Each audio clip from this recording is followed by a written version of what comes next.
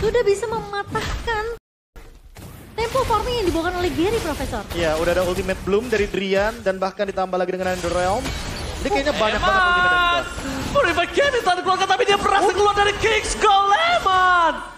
Gagal untuk ditumbangin. Itu adalah kesempatan yang sangat baik didapatkan oleh sosok seorang super rawa tapi nampaknya tidak berhasil mendapatkan hasil yang maksimal. But it's okay.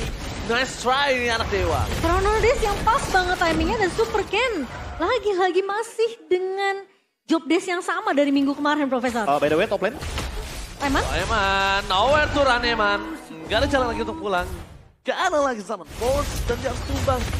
Satu-satunya hal terbaik yang bisa dilakukan oleh Super Ken adalah ya memberinya dia turtle untuk yang kedua kalinya. Ya, pertukaran yang setidaknya bisa didapatkan dari sisi Bigetron, Profesor. Dan Dewa United sekarang. Mungkin aku bisa melihat uh, match up yang cukup uh, sengit ya dari kedua belah gold lane, dari Awat dan juga Eman. Kelihatan Eman gak terlalu nyaman, Profesor. Ini Iya, udah iya. terlalu nyaman. Iya. Ini bahkan di arah bottom lane udah terlalu nyaman. Benar banget. Buat Sorizo-nya karena dia udah selesai dengan Warrex. Mhm. Dan kayaknya bakal menuju ke item-item selanjutnya. Immortality ada, Brute Force juga ada. Kayaknya item defense terlebih dahulu untuk menambahkan HP dari Viraga Armor. Tapi untuk Eman, dia udah pasti bakal kena pressure terus. Dan secepat mungkin dia kayak butuh backup dari Ki. Agar Ah. nantinya dia bisa diselamatkan dengan menggunakan Guided Wing. Rotasi Ju- sih. Jujur aja ya, aku sempat tadi lihat Faramis adalah sebuah harapan besar di draft pick. Tapi ketika adanya Lilia, ini semua langsung buyar. Iya. Karena yang difokuskan nanti untuk merubah semua tim fight yang sudah dimenangkan oleh Dewa, itu ada di Moreno. Moreno ini kunci penting loh. Dan bisa jadi dia bakal secepat mungkin bikin Glowing One agar nantinya Nether Realm gak bakal jadi penyelamat gitu loh untuk Kan- Dewa. karena kenapa? Karena Moreno ini masih bisa ditutup oleh Watt. Nggak ada Black Choose di sana. Iya. Ya kan? Tapi tergantung Watt mau fokus ke mana, serba salah. Masalah targetingnya sih. Yang mau diprioritaskan siapa yang akan ditumbangkan terlebih dahulu? Aduh, Kerry terperangkap lagi di dalam kondisi yang tidak baik-baik saja. Lika Pons dan keluarga, tapi Kerry gak akan bisa ke mana-mana. Kerry ini tidak memiliki Matilda di depan sana dan bahkan lihat Purify Gaming not save the day for this time untuk Cayman. Udah diselamatkan Matilda Airlines. Lihat, Second Eagle telah dikeluarkan semuanya untuk menyelamatkan emang. Tapi memang pick terhadap sosok Minsitar dari Coach Cassius. Ini wise choice. Ini adalah something juga untuk menghentikan bagaimana show dari Harit yang sedang menjadi trending topik baik itu di MPL atau bahkan mungkin di rata-rata Mythic, Immortal, dan Glory. Ini seperti yang KB bilang sih, memang harus ada rotasi yang dibawakan sama Ki. Trio yang harus mulai berjalan ke landing atas. Tapi Super Ken, Sobat Ken, lihat.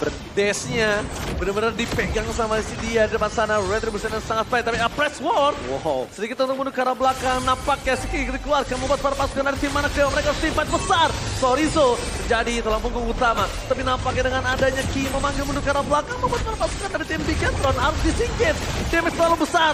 What is coming? King's Call. Benar-benar bersinar, tapi lihat Super Cat terlalu kuat membuat awat yang sangat kuat di depan sana. Menangkap Kiri, Press War. Membuat double kill di tangan Bigatron. Bahkan Dewa benar-benar di luar ekspektasi mereka yang harusnya kemenangan kali ini didapatkan oleh mereka. menurut aku itu thanks to Super Ken karena dia nge-pop up, dia trigger untuk biar Netherrealm-nya keluar dulu, Prof. Iya, iya. Ditambah lagi ini kan ada tiga hero yang notabene fighter kan.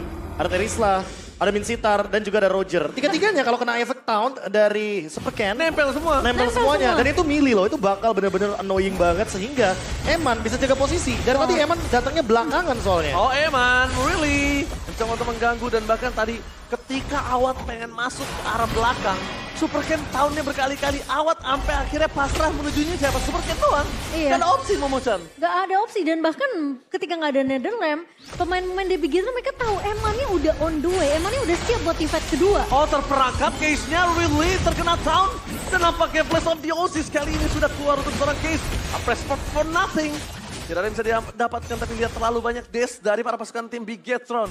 Awat walaupun dia punya sebuah antidotnya.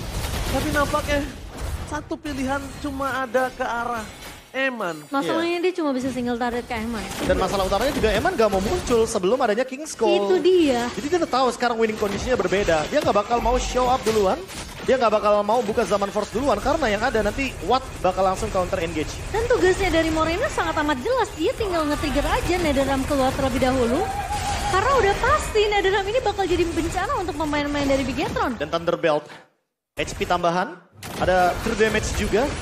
dan slow evac. Ini bakal membuat Eman makin susah untuk ditumbangkan walaupun Watt sudah memiliki Demon Hunter Sword. Kau bakal lihat base dari para pasukan anak dewa dibuat taman bermain oleh para pasukan Big Gatron Alpha. Mereka terlalu kuat dengan 8000 gold difference dengan tanpa Lord. Ingat, 8000 gold difference belum dengan Lord.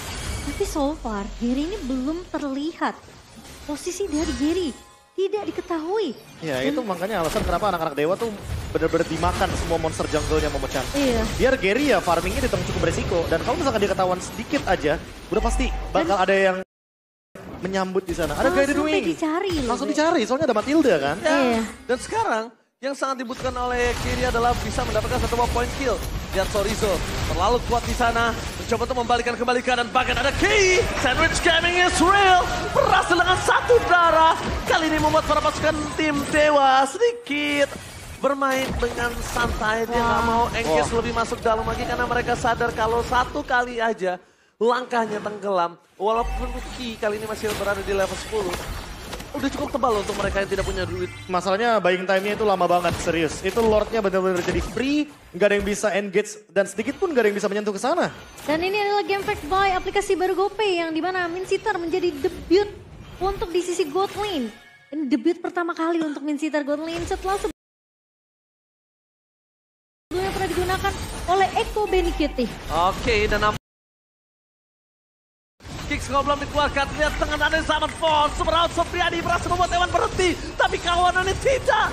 Membuat di depan sana Dixon damage yang cukup besar dan bahkan Lasen Sanete. Membubarkan para pasukan dari tim Anak Dewa. Hanya fokus menuju mendapatkan tiga best turret 10 menit is real. Tidak ada best turret. Ini penjara. Poranda PSN memiliki para pasukan dari tim anak dewa dan Eman fokus menuju ke arah team fight. Kehilangan Dixon menjadi sebuah tolak ukur yang tidak bisa ditahan lagi oleh tim anak dewa dan bahkan mereka anak dewa harus bertekuk lutut di hadapan Bigetron dan base-nya menjadi taman bermain Bigetron Alpha. Oh my god. Untuk Bigetron. Kemenangan ya mungkin aku bisa bilang mendominasi. Tapi jelas terlihat tujuan dan juga team fight yang akan dibawakan oleh teman-teman dari Bigetron. Mereka tahu